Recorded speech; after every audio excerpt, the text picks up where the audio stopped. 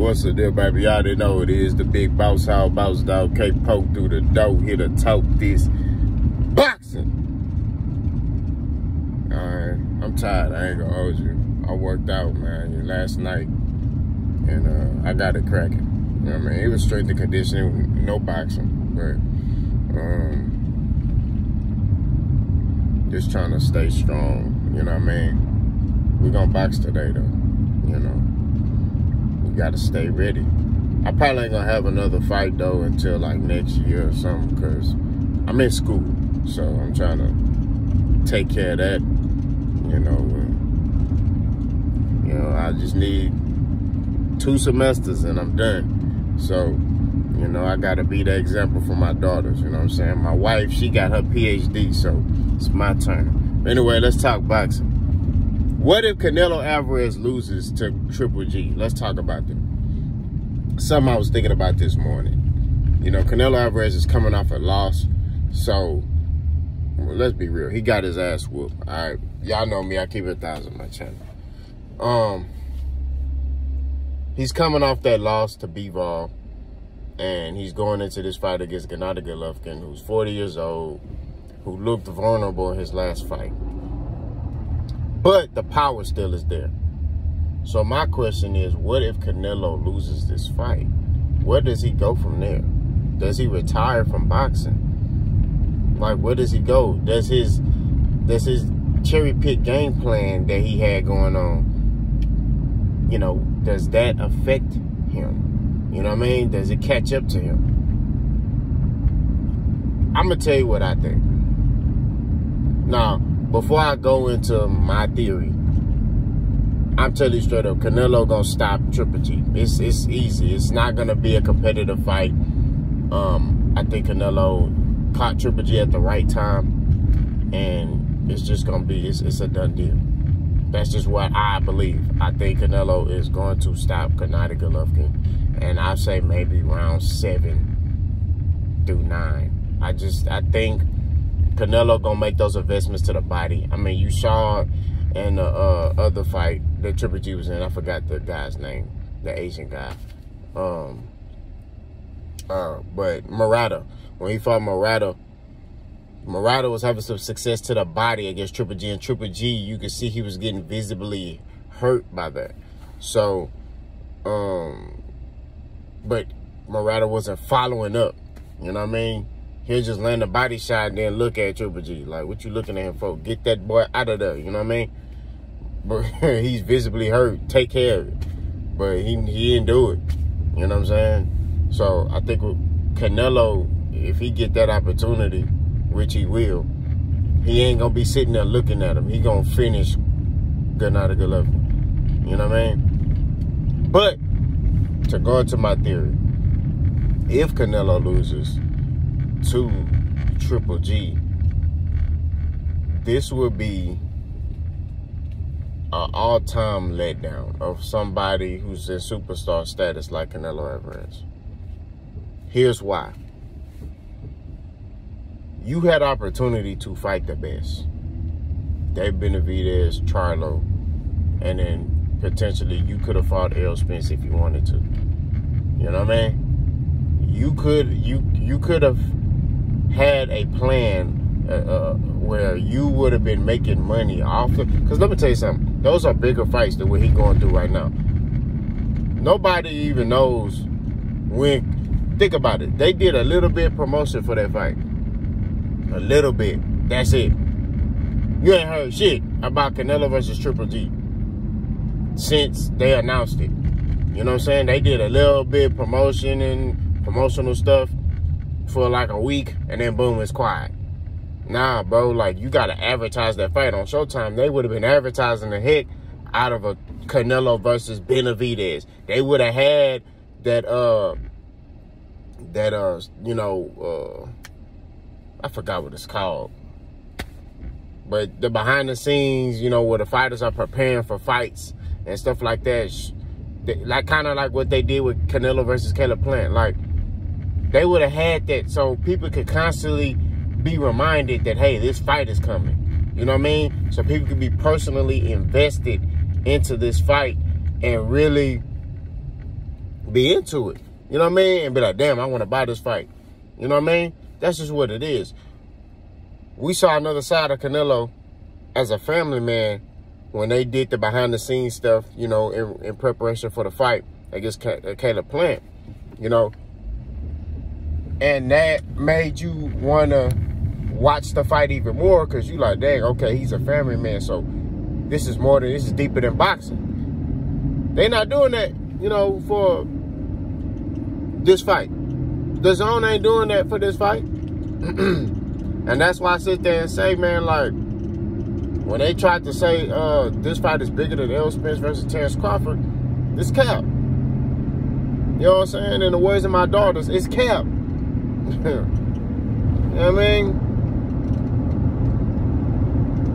So, like I keep saying, man, like, if Canelo loses to Gennady Golovkin, this is gonna be, it's gonna be, uh, it's gonna be bad for him. I'm not even gonna lie to you. I don't wanna know if he can continue fighting because he took the route he took. You know what I mean? Like he did all these cherry picking and fighting styles that are favorable for him instead of fighting fights. Look, when you the best, you figure it out. That's just what it is. When you fight the best fighters, you figure it out, regardless of the style. Canelo still has an issue with slick fighters. Okay? He was having trouble with Caleb Plant. The only problem is Caleb Plant made a mistake and Canelo caught him. That's what it is. Caleb Plant start getting predictable a little bit. You know, you got disguise stuff when you get on that elite level. You know, you may be able, you may be doing the same thing, you may be throwing the same punch, but you got to disguise it. You know what I mean? Canelo never addressed that. He just avoided it. Like, oh, I'm not fighting no slick fighters ever again. That's what it is. I don't want to hear nobody talking about Billy Joe Saunders was slick because that boy ain't slick. Ain't nothing slick about him. The only thing slick him is his hair. That's it. Ain't nothing slick about no damn Billy Joe Saunders. I don't want nobody talking about Billy Joe Saunders. Put that to bed. Tuck it in. Shut the door. Lock it. Ain't nothing slick about that boy. You know what I'm saying? But at the end of the day, like, he ain't, Canelo ain't just that problem.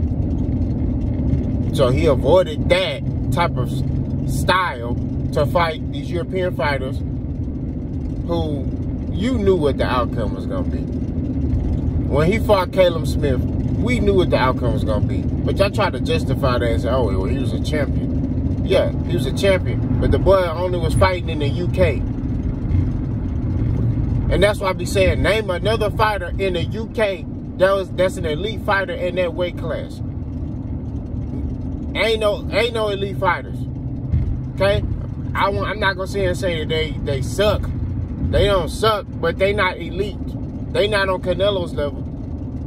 You already knew what was gonna happen. Canelo's gonna stop that boy.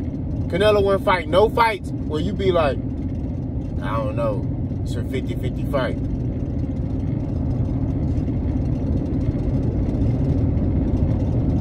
He ain't fighting them type of fights. The only fight that he fought that I would give him credit for is the Caleb Plant fight. Because I know Caleb was going to come in shape and Caleb's going to be ready. And Caleb did come in shape and Caleb was ready. You know what I mean? Like I said, he just made a mistake. But